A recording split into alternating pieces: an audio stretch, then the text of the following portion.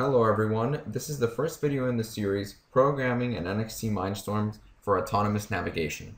In this series of videos, we'll see how we can program an NXT Mindstorms to autonomously navigate anywhere you'd like. We'll start off small, such as in our house, and then we can move to other places using additional algorithms that are a little bit more advanced. But in this video, I'd like to start with how we're going to incorporate all these things, just sort of a planning, as you can see here, a plan, how we're going to incorporate all these topics into an NXT Mindstorms. So here on the right, you see the picture of the robot that we'll be using. This is called the 5-Minute Bot if you want to look at how to build it online. I'm not going to explain how to put the robot together, but it's very easy to do, hence the name 5-Minute Bot. But this is just a picture of it. Um, it's missing a few things that we'll include in later videos, such as an ultrasonic sensor for sensing ranges. And we're also going to change this uh, model a little bit. It's not going to be two wheels. We're going to implement the bicycle model, but not in not in this series. Maybe in a, in a different series where we do different types of localization algorithms. But for the one we'll be covering in this first series, this bot will do just fine. The only thing we'll augment is the addition of an ultrasonic sensor. So if you've ever wondered how we can build an autonomous robot, the first thing we have to address is localization.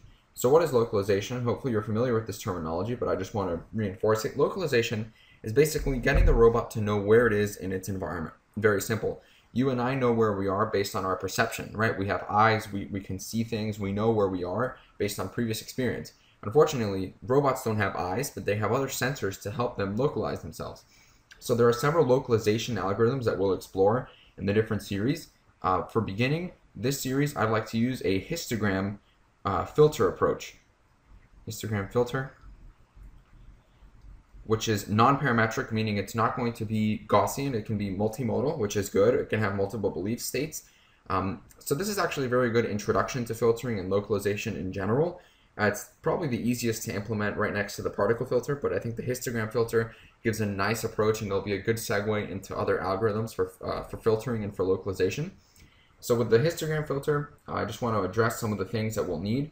We'll need to represent its environment as a grid. So this is what we'll need a grid world sort of thing, a grid world environment, which is not going to be that hard to do if we actually go inside of our house or anywhere where it's kind of constrained for an environment. We can just represent tiles or maybe a foot by a foot. That can be a grid. And obstacles, of course, we'll represent them in the grid by maybe ones and open spaces by zeros, unless you want to represent different types of obstacles. But for the general case, we can just represent this as a grid with obstacles being ones and free spaces being zeros. So this is going to be very easy to implement the histogram filter since we have this grid approach. So we'll talk about histogram filters in the next video, but this is how we're going to approach localization for the first time. Uh, for the first series, we'll do histogram filters. Um, for navigation, what I mean by navigation is essentially planning. I should probably make this a little more explicit. I mean planning. So there are a couple of planning algorithms that we'll explore, uh, but just for simplicity's sake, just to keep everything kind of uniform and, and easy to work with, we're actually going to start with dynamic programming, DP, and we'll construct the table initially. So before the robot even uh, navigates, it'll it'll have a map of how to approach the goal in an optimal way, no matter of where no matter where it is. So we'll do DP, which is dynamic programming abbreviated, We'll do this for the first series, and then in later series, maybe we'll do A star or different planning algorithms. But for this one, we'll stick to DP, which it's good uh, based on some properties that it has that I'll talk about a little bit later. Um, for motion, this is where I was going to change the model of this robot a little bit to the bicycle model. But like I said, for the histogram filter, it's not that bad. Uh, for motion, again here, it's tentative to use the bicycle model, but it's not uh, necessary. But in future videos, we might switch to the bicycle model. Uh, we'll also do PID control. PID control. Because these robots, although they're they're really cool and, and they're nice and, and fun to play with, they're not you know 100% accurate. If you tell them to turn 90 degrees, they won't always turn 90 degrees. Uh, so we'll, we'll actually use PID control to get this robot to drive in a straight line because if you don't, the errors actually accumulate. And even though small degrees might not make much of a difference, when you leave this thing running around over time, uh, the errors are, are pretty nasty. So we'll do PID control with the a gyroscope, gyroscope sensor. So we'll do this to, to tell the robot to, to navigate in a straight line. And additional, this is basically things that after we get this robot working, what are other things we can do? What are cooler things we can work with? And one that I really wanted to use was SLAM, simultaneous localization and mapping. So we don't actually have to provide it with this grid world-like environment. It can figure out its map on its own. So we can kind of just set it off anywhere. Of course, with uh, certain restrictions, we can't just let it set off and it'll know. We have to apply the SLAM algorithm correctly, but probably SLAM, and in this case, maybe fast SLAM or graph slam, but right now I'm, I'm liking fast slam a little bit better. So we'll probably implement slam a little bit later. Um, apart from slam, some other perception.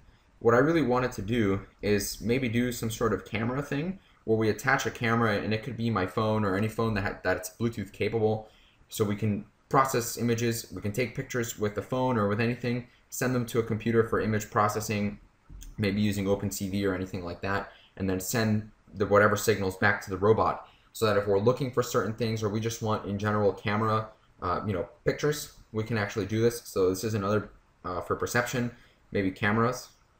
It's going to be a fun one.